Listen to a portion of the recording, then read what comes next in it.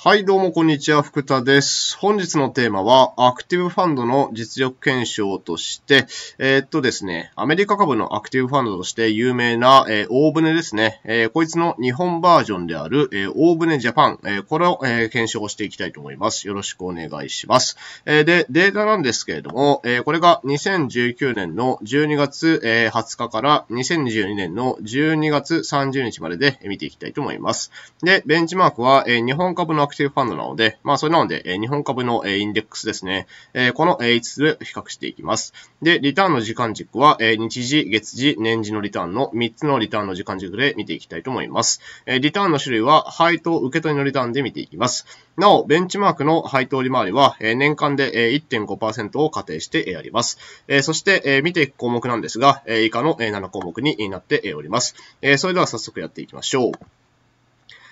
はい。では、まずざっくりと結論ですね。えー、この大船ジャパンなんですが、えっ、ー、と、本体というか、アメリカ株のアクティブファンドの大船の方はですね、まあ、これは、えー、現時点では結構実力があるのかな、みたいな、えそんな感じだったんですが、えジャパンの方はですね、えこいつは現状では実力があるとは到底言えないというふうな感じでした。で、えパフォーマンスなんですが、えこれはほぼほぼ、えトピックスのインデックスファンドっていうふうな感じでして、えそれなので、えこのファンドにですね、インデックスファンドを超える、えパフォーマンスを期待して、え投資するのはですね、まあ現状ではちょっと違う気がするかなっていうふうな、えー、そんな、え結論に達しました。では、なんでこの結論に達したのかを、えー、ここから、えデータを見ていきたいと思います。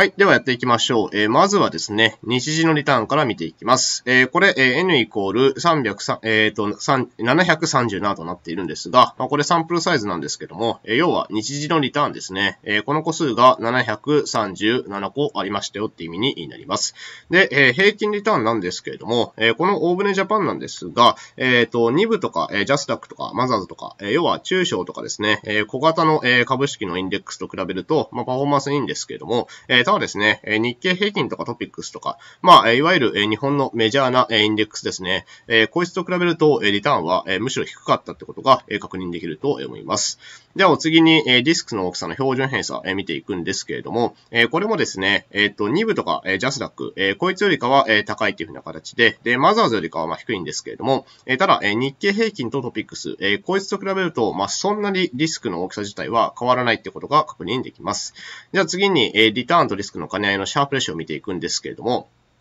え、これは、えー、2部ジャスダック、マザーズよりかはシャープレシオ高いんですが、え、ただ日経平均とトピックス、え、これと比べるとシャープレシオは、まあ、大して変わらないっていうような、え、そういったことが確認できると思います。え、お次に相関とリスクとベータ値なんですけれども、まあ、これですね、どっちかっていうと日経平均とかトピックスとか、え、要は大型株ですね、え、これとの、え、相関が、高いっていうふうな形になっていて、まあ、言っても2部とかジャスダックとかマザーズとか、え、そこら辺とも相関はなんだかんだ強い順相関となっているので、まあ、相対的にに見ると、えー、大型株の方との連動性は高いんだけれども、まあ、そもそも日本株のインデックス全体との連動性は高いよっていうふうな、えー、そんな形になります。で、リスクバイスとベータ値、こんな感じになってまして、マザーズのみベータ値がですね、えー、かなり低くなっているので、まあ、それなので、えー、マザーズ仕様というかですね、まあ、えっ、と、グロース市場っていうんですけども、2番は、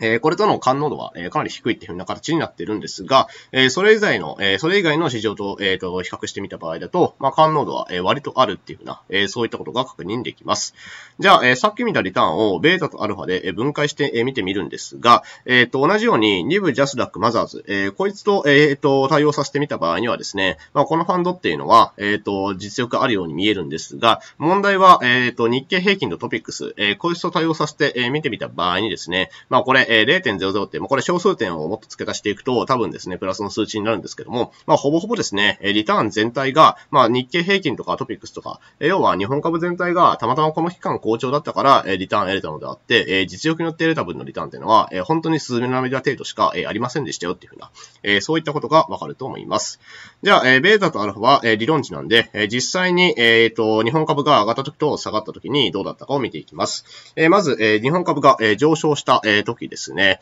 えこれで見ると、まあ、結構ばらつきは、えあるんですけども、えいずれにそう共通しているのが、えベンチマーク、えつまりは日本株が上昇した時には、えこのファンドもえ上昇してはいるんだけれども、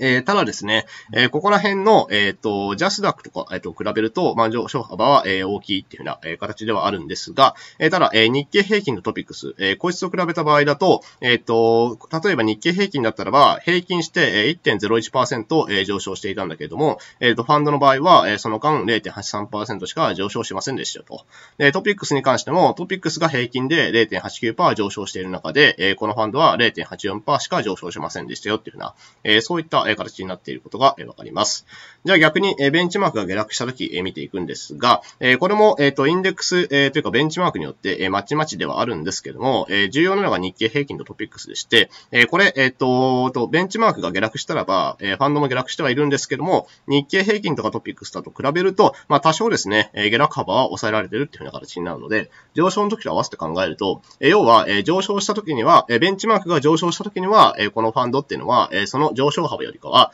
若干抑えめになるんだけれども、え逆に下落した時には、えこのファンドの下落幅はそれよりもえ若干えマシになるっていうふうな、えそういったですね、え関係性がえ見て取れます。えとりあえずこれが日時のリターンでした。では、えお次に月次のリターン見ていきます。えサンプルサイズ36なので、まあそれなのでえ36ヶ月間のえリターンがえ取れましたよっていうふうな形になります。で、えこれで見ると、まあさっきと同じで、え中小型のえ株価指数と比べるとえリターンは高いんですけれども、えただえ日経平均とトピックスと比べるとえリターンは低くなっているということが確認できると思います。で、次に標準偏差なんですけども、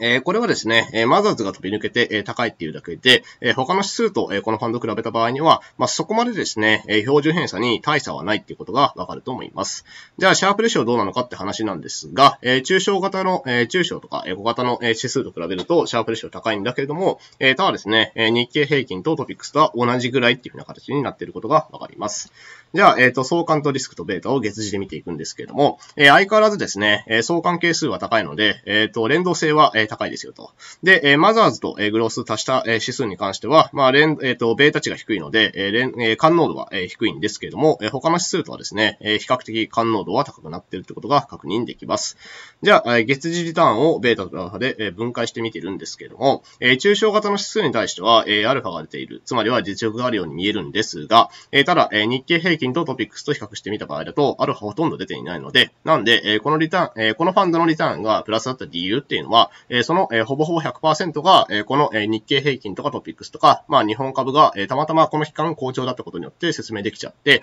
え実力によってレタブルのリターンっていうのは、まあほぼほぼありませんでしたよっていうふうな、えそういったことが確認できます。じゃあ、え次に、えベンチマーク上昇時のリターンを見ていきます。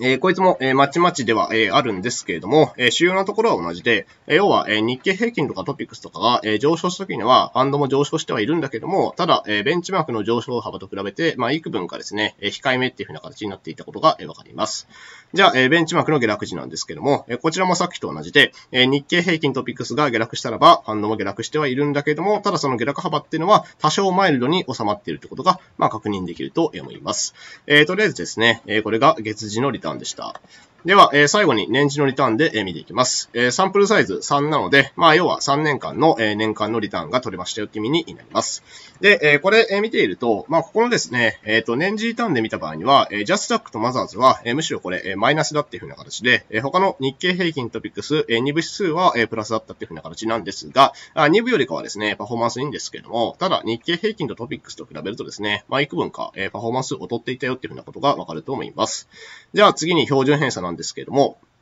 まあ、マザーズが高いのは、えー、置いといたとして、えー、このファンドなんですけれども、えー、トピックス、えっ、と、日経平均よりかはリスクは低いんだけれども、ただトピックスよりかは、えリスクは高かったよっていうふうな、えそんな形になっていることが、え確認できます。じゃあ次、シャープレシオなんですけれども、えシャープレシオは、え日経平均とは、えほとんど変わらなくって、えトピックスよりかは低いっていうふうな形になっていて、で、えジャスダックとマザーズに関しては、そもそものリターンがマイナスなので、えマイナスのシャープレシオになっているって感じになっております。じゃあ、え相関とリスクとベータなんですけれども、まあ、これ、えサンプルサイズ3しかないので、なんとも言えないところではあるんですが、え、いずれにせよですね、まあ、この日経平均とかトピックス、え、こいつとの相関係数高いので、連動性高いっていうのと、あと、ベータ値もなんだかんだで、え、高いっていうふうな形なので、え、連動性も感濃度も、ま、ここの大型株に対しては高いっていうふうな、え、そんな形になります。で、えっ、と、ベータとアルファで分解してみるんですが、まあ、相変わらずですね、え、中小型の株価指数と対応させてみた場合には、まあ、実力があるように見えるんですが、え、要は、えっ、と、中小型の株価指数とは関係なくリターンを稼げていましたよってなるんですけれども、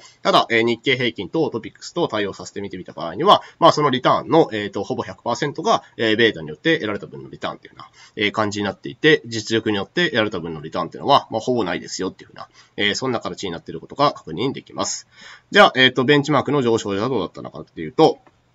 まあ、ここのですね、日経平均とトピックスで見てみた場合には、えー、日経平均が、えー、上昇した時には、えー、上昇するんだけども、ちょっと、えー、幾分か控えめな、えー、上昇幅になっているんですが、えー、トピックスと、えー、比較してみた場合には、トピックス上がったら、えー、ファンドはですね、えー、それ以上に平均して上昇していたってことが確認できると思います。じゃあ、えー、逆にベンチマークの下落時なんですけれども、えー、これもですね、えー、日経平均と、えー、比較してみた場合には、日経平均が下落している中で、ファンドも下落するけれども、まあ、幾分か、えー、マイルドな下落幅に収まってたって言ってるのかな？なんですが、え、ただ、えトピックスと比較してみた場合には、トピックスが下落すると、えこのファンドの下落幅っていうのは、えトピックスよりも、え結構大きかったっていうふうな、えそういったことが確認できると思います。まあ、これあくまで本当にサンプルサイズ3なので、まあ、それなんで、え今後年数が積み重なっていくに従って、まあ、ここもですね、え変わってくると思うんですけども、まあ、現状で、え3年間、え取ってみた場合には、えこんな感じだったよっていうふうな、えそういったことで、まあ、確認しておいていただけたらと思います。えとりあえずこれで動画は以上になります。